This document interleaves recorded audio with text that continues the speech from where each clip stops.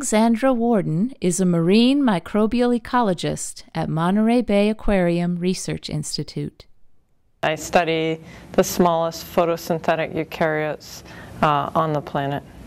Picoeukaryotes are um, very tiny eukaryotic cells, less than two microns in diameter, which is about a 50th of the width of a human hair.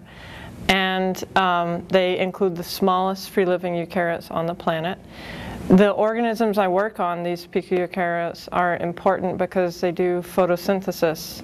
So um, effectively, they're like the plants of the ocean.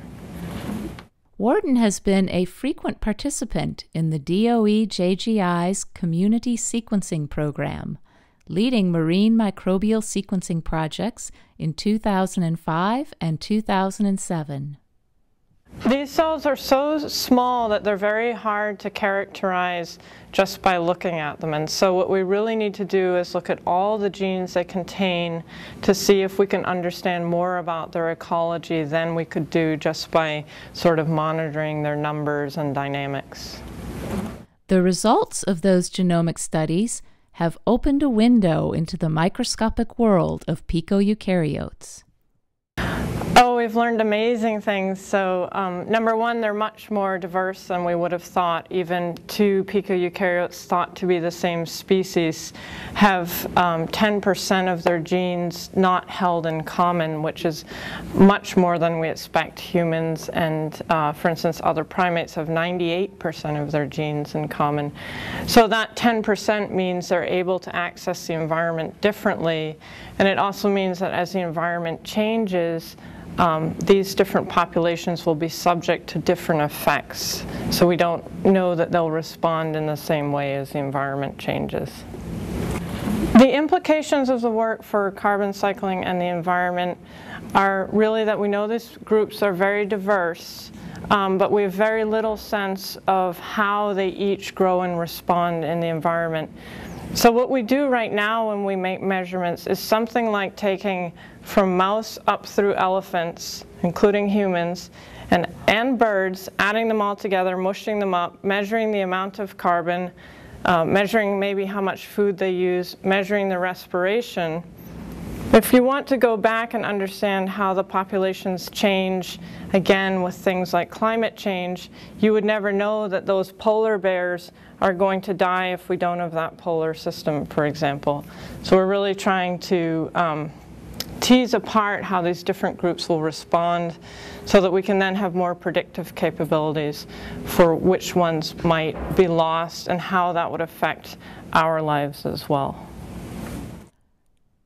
Worden is spearheading a 2009 Community Sequencing Program project to sequence genomes of predatory, single-celled marine organisms that feed on picoeukaryotes and other small plankton. One of our goals is really to understand the global carbon cycle.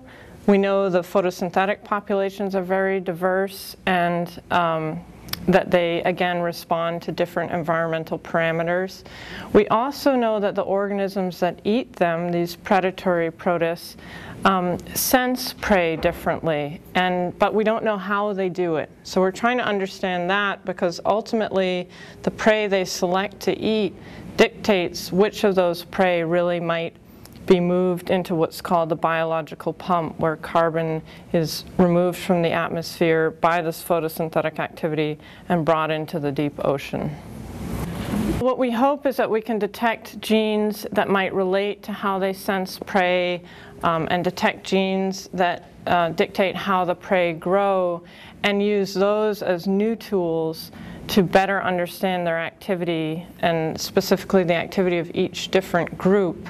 Because if we want to model how the system might change with, say, one degree temperature change, um, we actually have to know something about their physiology so that we can shift them in our models. Right now we're at a really crucial time for the environment.